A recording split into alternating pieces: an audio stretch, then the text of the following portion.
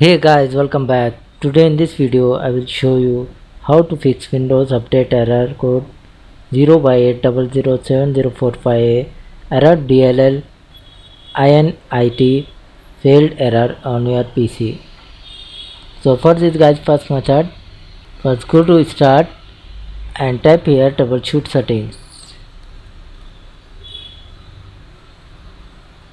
Select this troubleshoot settings so now here guys. You select the other troubleshooters. So finally as you can see here windows update. You click on run and complete the process. It will show you if any problem is there. And the second method is just go to start and type here command prompt.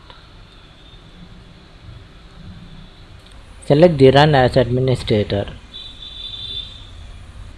type here guys command sfc space forward slash scan now and hit enter on your keyboard.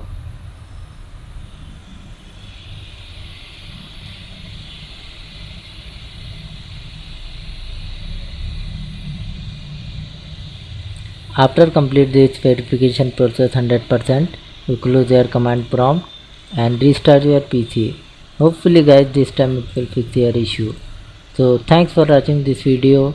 Please like share and subscribe